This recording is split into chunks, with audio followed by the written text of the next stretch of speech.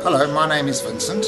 Um, I am an astronomer. I love sharing the stars with other people and so that's why I work here at Maropeng as their resident astronomer and once a month I do a star event, um, normally with an after dinner talk and after that some, some stargazing through large aperture telescopes if the weather is good and uh, it really is great to come out to a place that's not too far away from the big city, not so much light pollution and so we can still enjoy the stars out here.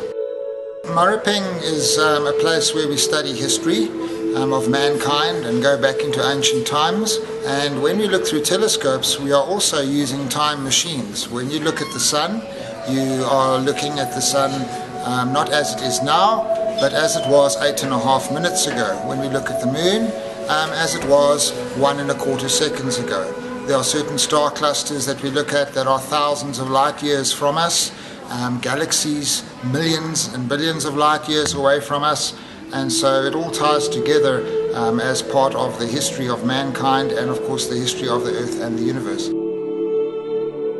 You know, I've had six year olds look through my telescope and maybe they haven't understood everything they've seen, but those memories will last with them. And then also, I've had some um, very much older people um, looking through this telescope and saying that, um, you know, they wish they'd seen that earlier on in their youth the evening isn't really about science. Um, for instance, large numbers, the moon is 384,000 kilometers away from us, and that doesn't really mean much to the common person like you and me.